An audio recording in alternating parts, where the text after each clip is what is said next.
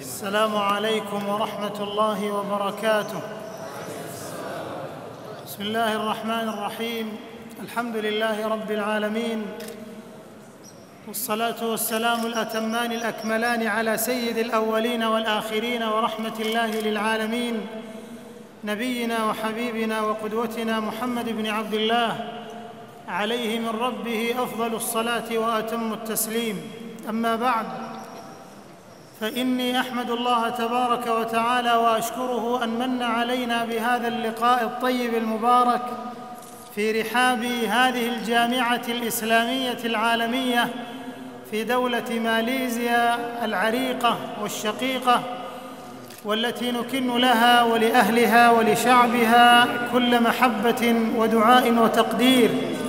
أيها الأحبة إننا في هذا الصرح العلمي الشامخ وهذا المعقل المتميز العملاق في رحاب هذه الجامعة التي بارك الله فيها وآتت أكلها وخرجت اجيالا متعددة نفع الله بها البلاد والعباد.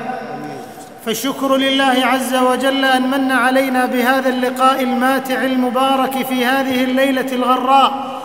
ثم الشكر للقائمين على هذه الجامعة وفي مقدمتهم سعادة مديرها وأعضاء هيئة التدريس والإخوة الموظفين والزملاء العاملين وكذا الطلاب المتميزين.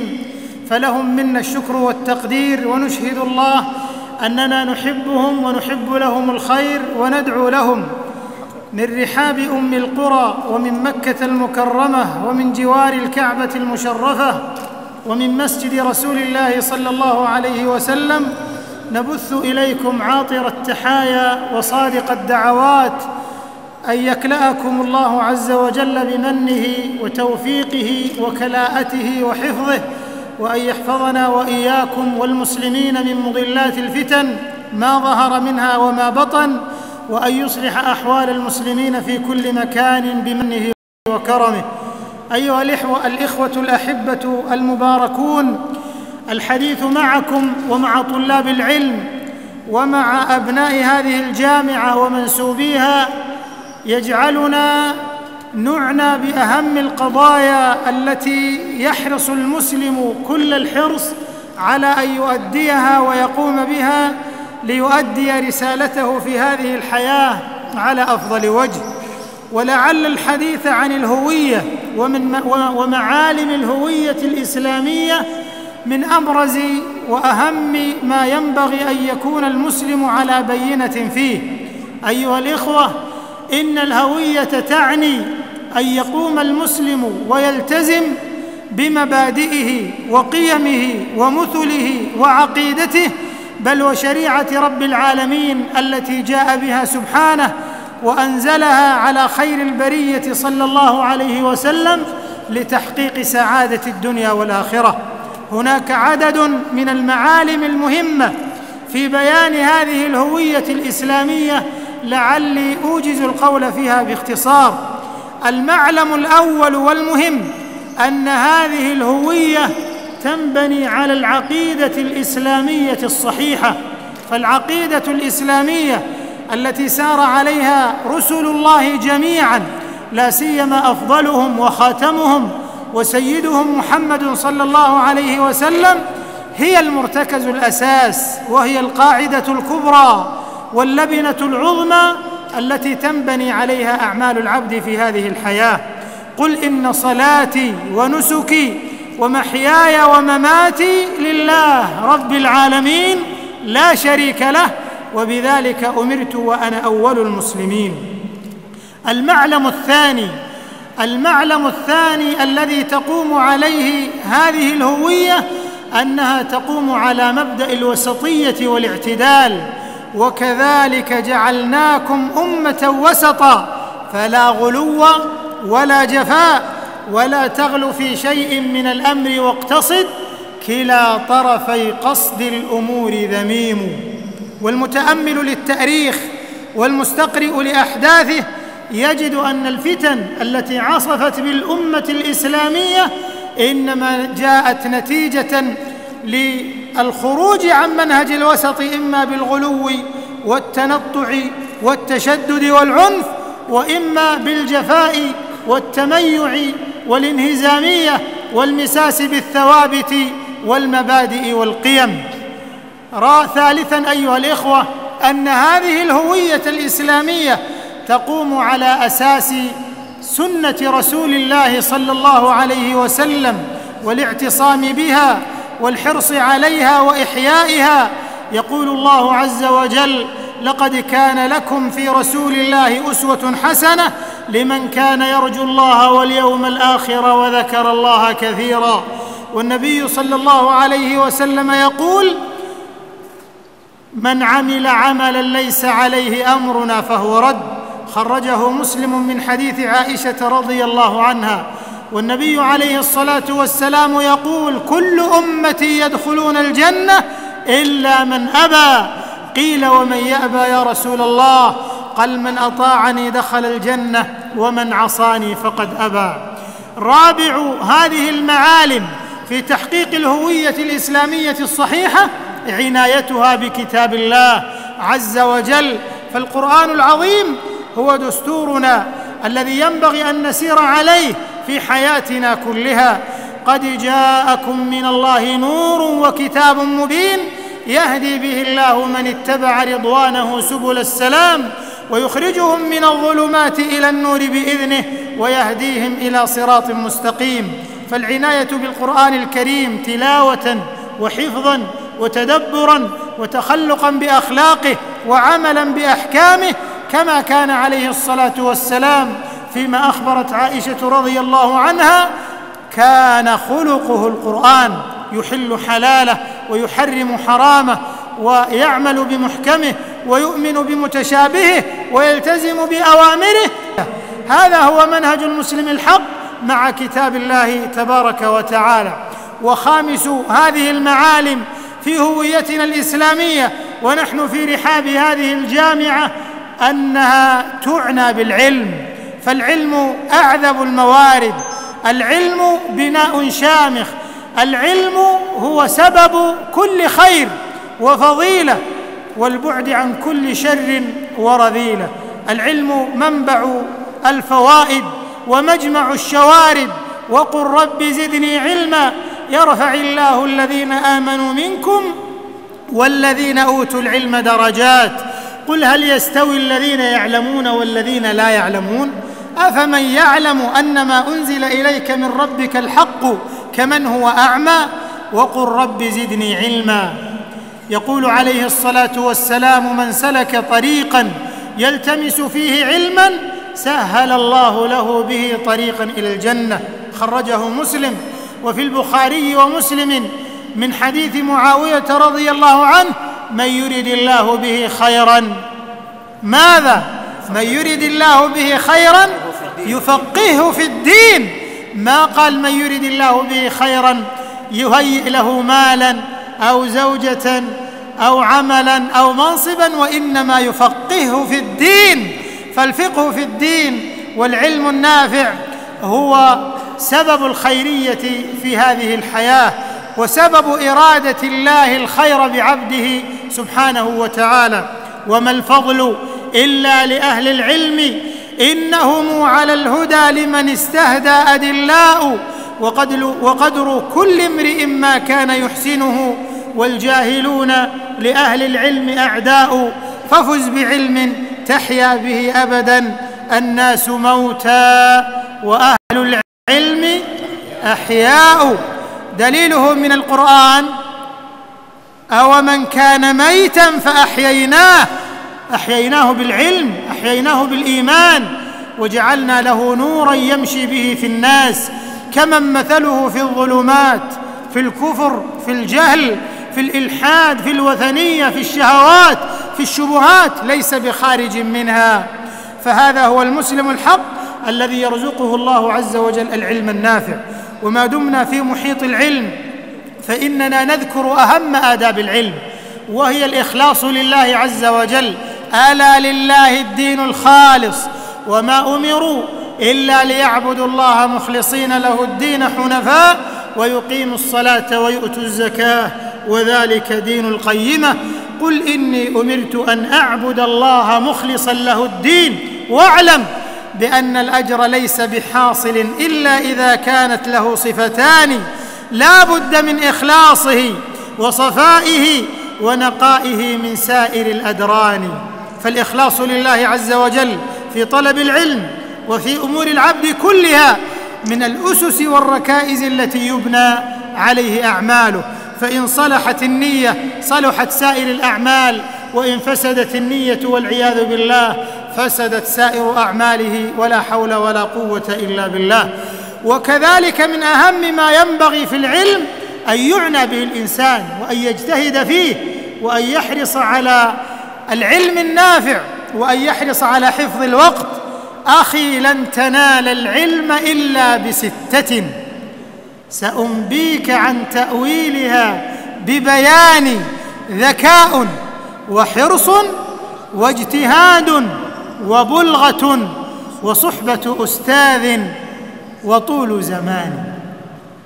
فلا بد من العناية بهذه الأمور الستة لا سيما أخذ العلم من العلماء لأن أخذ العلم من العلماء هو ضمانة المنهج الصحيح في التلقي والتحصيل وطلب العلم.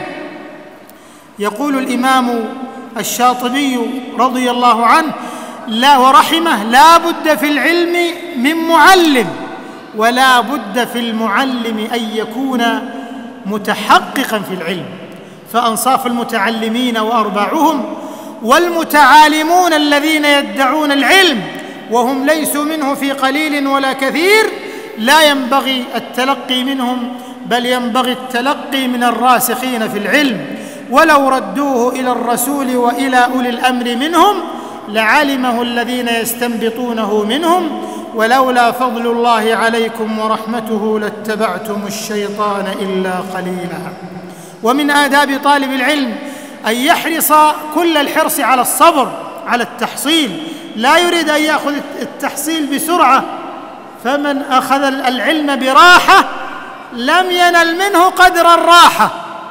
من أخذ العلم بالراحة لم ينل منه قدر الراحة. الراحة هي بسطة اليد فلا بد من الصبر وثني الركب وحني الظهور أمام العلماء وقاعات الدرس وفي حلق تحصيل العلم.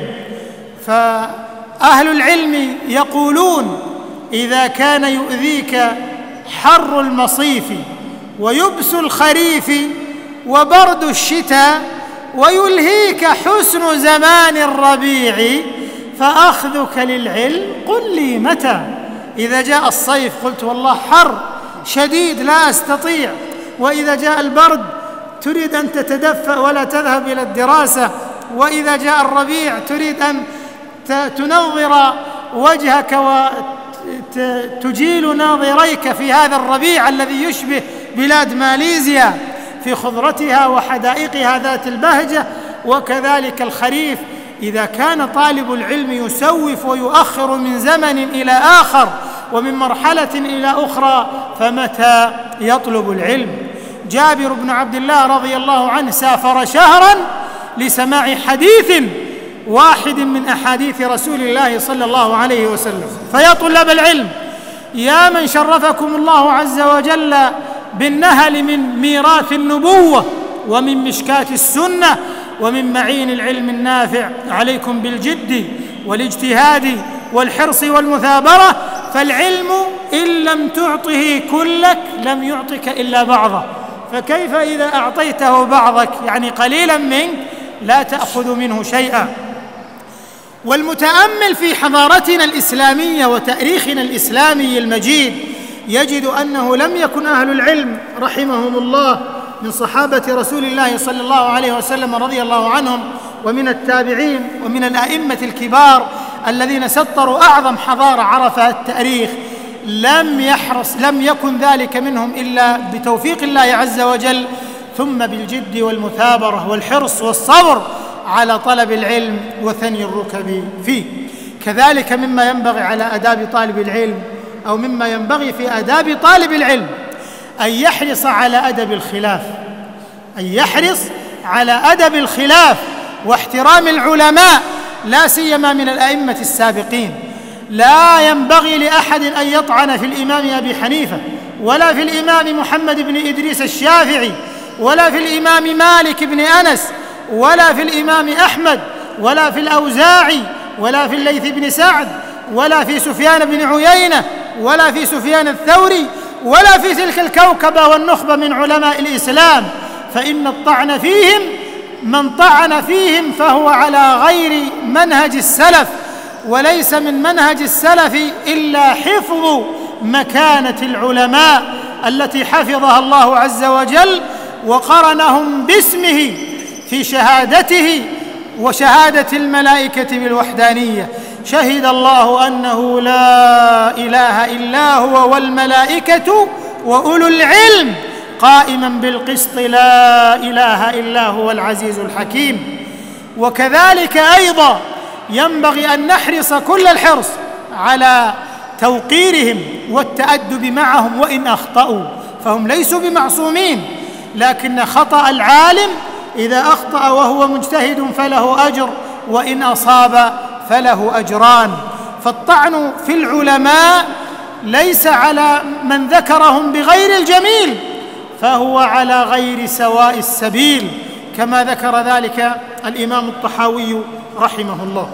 ولهذا ضرب الأئمة أروع الأمثلة في سلامة صدورهم وفي صيانة قلوبهم أن تحمل غلا أو حقدا على أحد من المسلمين.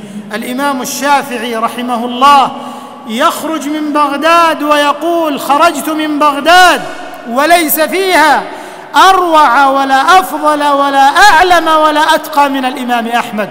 والإمام أحمد يقوم آخر الليل ويدعو ويرفع يديه يدعو للإمام الشافعي. هذه هي آداب العلماء وهذه هي أخلاق العلماء. فما بالنا نجد اليوم في بعض المنتسبين إلى العلم من يطعن بالعلماء ويزري بهم ويتهمهم ويأخذ الوشايات والدعايات المضللة عنهم. فليحذر طالب العلم أن يلقى الله عز وجل وقد ولغ لسانه بعرض أحد من أهل العلم فإن لحوم العلماء مسمومة. قالوا يزورك أحمد وتزوره. قلت الفضائل لا تغادر منزله. إن زارني فبفضله أو زرته فلفضله فالفضل في الحالين له. ألا ما أحرى طلبة العلم اليوم أن يتحلوا بمثل هذه الآداب ويعذروا بعضهم بعضا في مسائل الخلاف فكلهم من رسول الله ملتمس غرفا من البحر. أو رشفا من الديم. كذلك أيها الإخوة من معالم هويتنا الإسلامية أنها تتبع العلم العمل. والعصر إن الإنسان لفي خسر إلا الذين آمنوا وعملوا الصالحات. ليس علمنا ليس علمنا محصورا في القلوب ولا موجودا على الارفف في المكتبات وإنما هو علم ينزل إلى الميدان. إذا سمعت الله أكبر تبادر إلى الصلاة وتكون على عقيدة سليمة صحيحة تكون حريصا على السنة تكون محييا آثار سلف هذه الأمة تكون حريصا على أداء الصلاة وإيتاء الزكاة وصيام رمضان والحج إلى بيت الله الحرام وإلى التخلق بالأخلاق الإسلامية وإلى القيام بأعمال البر والخير كلها في كل مجال من المجالات. وسابعوا هذه المعالم أن هويتنا الإسلامية تقوم على وحدتنا الدينية وأخوتنا الإيمانية. إنما المؤمنون إخوة والمؤمنون والمؤمنات بعضهم أولياء بعض. هذه هي الأخوة الإسلامية التي بتوفيق الله عز وجل تسامت عن الإقليميات العربي والعجمي والإفريقي والآسيوي كلنا إخوة في الله كلنا مسلمون كلنا متحابون في الله. يا أيها الناس إنا خلقناكم من ذكر وأنثى وجعلناكم شعوبا وقبائل لتعارفوا. إن أكرمكم عند الله أتقاكم. مثل المؤمنين في توادهم وتراحمهم وتعاطفهم كمثل الجسد الواحد. إذا اشتكى منه عضو تداعى له سائر الجسد بالسهر والحمى. خرجه الشيخان من حديث النعمان بن بشير رضي الله عنه. وفي الحديث الآخر في الصحيح أيضا المؤمن للمؤمن كالبنيان. يشد بعضه بعضا وشبك صلى الله عليه وسلم بين أصابعه. فيا أيها الإخوة الذين أعزكم الله بهذا الدين نحن إخوة نحن مسلمون جميعا وإن اختلفنا هذا سعودي وهذا ماليزي وهذا أفريقي وهذا آسيوي لكن إن يختلف ماء الوصال فماؤنا عذب تحدر من غمام واحد أو يفترق نسب يؤلف بيننا دين أقمناه مقام الوالد. سابع هذه المعالم أيها الإخوة في الله أننا أمة تقوم بواجب الدعوة إلى الله عز وجل ومن أحسن دينا ممن أسلم وجهه لله وهو محسن. ومن أحسن قولا ممن دعا إلى الله وعمل صالحا وقال إنني من المسلمين. الدعوة إلى الله والاطلاع بها مهمة الأنبياء والمرسلين بالكلمة الطيبة بالابتسامة الرقيقة بالمشاعر النبيلة بالأخلاق العليا بالشمائل الكريمة. هذه هي دعوة الرسل عليهم الصلاة والسلام. ادع إلى سبيل ربك بالحكمة والموعظة الحسنة وجادلهم بالتي هي أحسن فهذا هو منهج الدعوة إلى الله. ليس سفكا للدماء ولا هتكا للأموال والأعراض ولا تخريبا في البلاد والمقدرات والمكتسبات. وإنما رفق وحكمة وصبر وحلم وموعظة حسنة ومجادلة بالحسنى. إلى متى وبعض الناس يجهل شريعة الله عز وجل في الدعوة إلى الله ويعلن سفك الدماء وتكفير المسلمين وتدميرهم وسفك دمائهم ويولي وجهه تجاه, تجاه لوثات مشبوهة ومشارب موبوءة ومذاهب مخبوءة. والمسلم الحق هو من يسير على ما سار عليه رسول الله صلى الله عليه وسلم الذي أرسل ماذا؟ أرسل رحمة. للعالمين وما أرسلناك إلا رحمة للعالمين فبما رحمة من الله لنت لهم ولو كنت فظا غليظ القلب لانفضوا من حولك.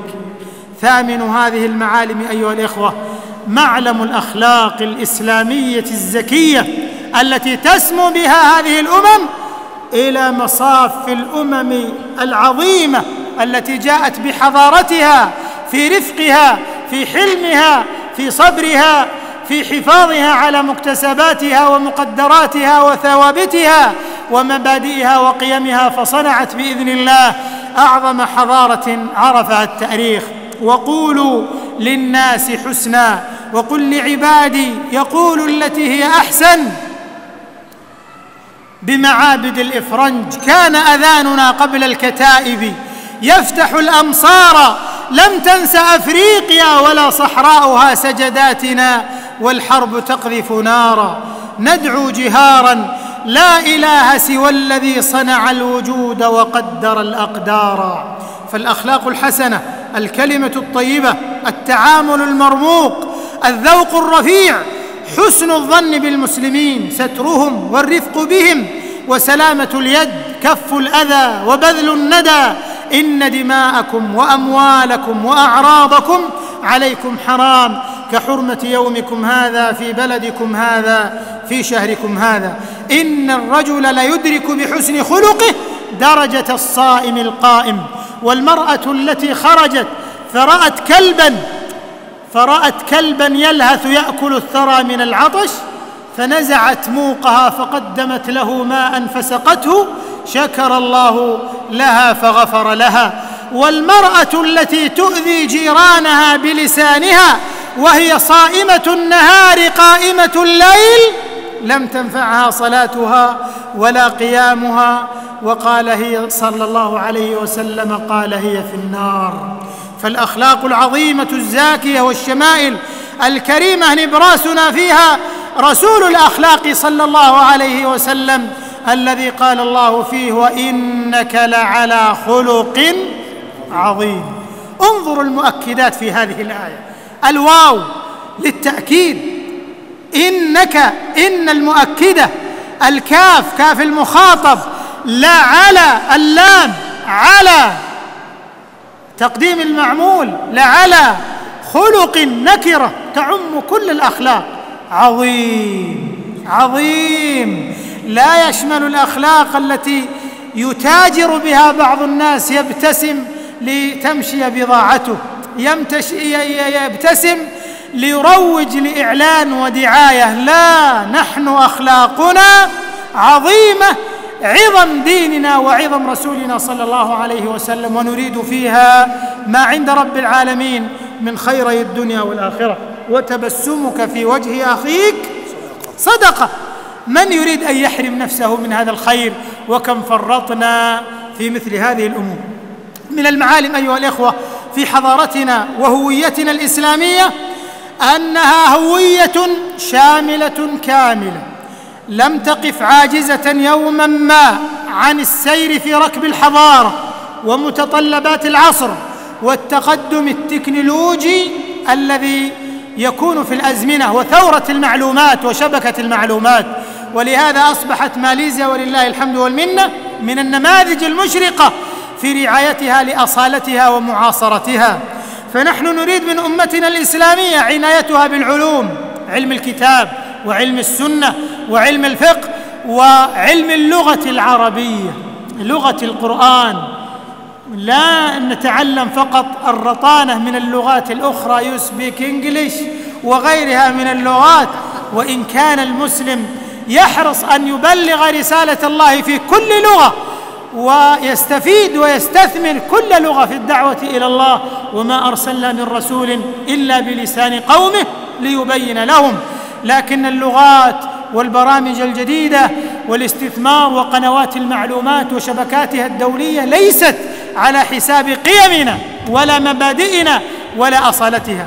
إن هناك اناسا عبوا من حضارة الغرب وأصبحوا ينظرون إلى غير المسلمين نظر انبهار وعندهم عقدة من هؤلاء ويظهر دينه دائما مظهر المنهزم وليس عنده ثقة فيما حباه الله عز وجل من دين عظيم. فنحن أعزاء بديننا ولله العزة ولرسوله وللمؤمنين. وليس العيب في ديننا ابدا العيب في سلوكيات بعض المسلمين وفي تصرفات أفراد المسلمين. وإلا فديننا جاء للدنيا والآخرة جاء للأصالة والمعاصرة جاء لكل خيري الدنيا والآخرة وأمور المعاش والمعاد. المعلم الأخير أيها الإخوة في هويتنا أننا نعنى بالأسرة نعنى بالأسرة المسلمة ونعنى بالجار ونعنى بالمجتمع. ليس هوية المسلم أن يقبع في مسجد فقط وإنما في المسجد. وفي المصنع وفي السوق وفي المتجر وفي كل مكان يخدم هذا الدين فهو على خير فليجتهد فيه. كذلك يخرج بيتا مسلما وأولادا صالحين وزوجة صالحة. المرأة المسلمة أختنا وبنتنا وهي الزوجة وهي الأم لها مكانة في هذا الدين تشارك في الدعوة إلى الله وفي خدمة المجتمع لكن في محيطها المصون المحافظ الحيي الكريم الذي لا يعرف التبرج ولا يعرف والعياذ بالله الانسياق وراء الشهوات ووراء الموضات والانزلاق أمام تقليد الآخرين. بل تحتفظ المرأة المسلمة بهويتها وعقيدتها ودينها ومبادئها بهذه المعالم أيها الإخوة المهمة صنعت بإذن الله أمتنا هذه الحضارة الإسلامية العريقة التي سطرت الصفحات الناصعة والبيضاء عبر التاريخ كله. حضارتنا الإسلامية في صدر الإسلام وكذلك في الدولة الأموية والدولة العباسية وكذا في حضارتنا الإسلامية في الأندلس في الأندلس العظيمة الإسلامية وكذا حضارتنا الإسلامية في أيضا الدولة في الخلافة العثمانية وكذا ما شملت أيضا المملكة العربية السعودية والجزيرة من حضارة إسلامية ودعوات إصلاحية وكذا في ماليزيا وكذا في أفريقيا وفي كل مكان. هذه الحضارة لماذا خبت ولماذا انطفأت جذوتها؟ لما وجد جيل فرط في هذه المعالم منهم من فرط في عقيدته ومنهم من فرط في عباداته ومنهم من فرط في أخلاقه ومنهم من فرط في قيمه ومبادئه وسلوكه ومنهم من أخذ فكرا غير فكر المسلمين وأخذ يعب من غير المسلمين في ثقافاتهم وأفكارهم ومنهزما وليس ذا ثقة أمام مجتمعه المسلم وبني قومه. وكذلك ظل من ظل يوم أن يممت بعض الجهات وجهها لتأخذ العلوم المعاصرة على حساب الثوابت والعلوم الأصيلة. ويوم أن جمدت وانطوت بعض الجهات والأفراد على علوم عفى عنها الزمن.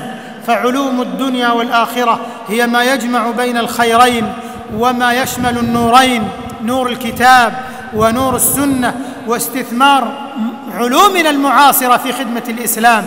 نريد الطبيب المسلم والمهندس المسلم والتاجر المسلم والكيميائي المسلم وأيضا الصناعي المسلم والتاجر المسلم ومسلم في كل مكان وفي كل مجال من المجالات. وليس ذلك والله علينا بعزيز وعلى أمتنا الإسلامية. نرى في هذه الوجوه وفي مثل هذه الجامعة وأبنائها من يحيون الأمل ومن يبعثون التفاؤل أنتم الجيل. أيها الإخوة الذين تعلق عليكم الامال الله الله في النهوض بهذه الأمة والالتزام بمسيرتها وجماعتها والسير بها السير الصحيح على المنهج الحق وحذار من النكوص عن هذه المسؤولية أو التخلي عن سفينة النجاة أو البعد عن ما ينبغي أن يكون عليه المسلم مع إخوانه المسلمين. فأنتم الأمل بعد الله ونحن أمة لا تعرف اليأس ولا يعرف اليأس إلى نفسها طريقا. نحن لنا النصر بإذن الله وكان حقا علينا نصر المؤمنين. إنا لننصر رسلنا والذين آمنوا في الحياة الدنيا ويوم يقوم الأشهاد. وهذه وعود صدق ونحن نشهد ولله الحمد والمنة. التغيرات الكثيرة الإيجابية في هذه الأمة. فعلى شباب المسلمين أن يحرصوا على هذه المسيرة الهادئة الخلوقة المتألقة التي لا تعرف الفوضى ولا تعرف الاضطراب وإنما تعرف سلوك الطريق الصحيح في الإصلاح وفي العلم وفي العمل الصالح وفي الدعوة إلى الله عز وجل وفي الرجوع إلى العلماء وفي النهل من علومهم. وفي الصدور عن رأيهم لا سيما في القضايا المعاصرة والنوازل والمستجدات التي تكون بين الفينة والأخرى في أمتنا الإسلامية. شكر الله لهذه الجامعة ولمديرها الكريم ولأعضاء هيئة التدريس فيها ولطلابها الذين رأينا فيهم من الحرص على الطلب والتحصيل. ما إشرأبت به أعناقهم فنضر الله وجوههم نضر الله امرأ سمع منا حديثا فوعاه فأداه كما سمعه فرب مبلغ أوعى من سامع. اللهم إنا نسألك بأسمائك الحسنى وصفاتك العلى أن ترزقنا العلم النافع والعمل الصالح وأن تستعملنا في طاعتك وأن تصلح أحوال المسلمين وتحقن دماءهم وأن توفق إخواننا المسلمين في ماليزيا وأن توفق إخواننا طلاب هذه الجامعة لما فيه الخير والسداد.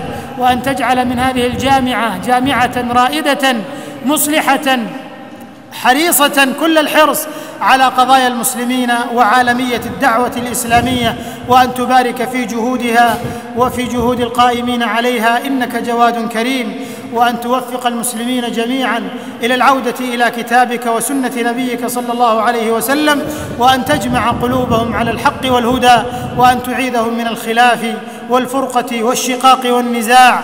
إنك جواد كريم وآخر دعوانا أن الحمد لله رب العالمين. وصلى الله وسلم وبارك على نبينا محمد وعلى آله وصحبه أجمعين. وسلام الله عليكم ورحمته وبركاته.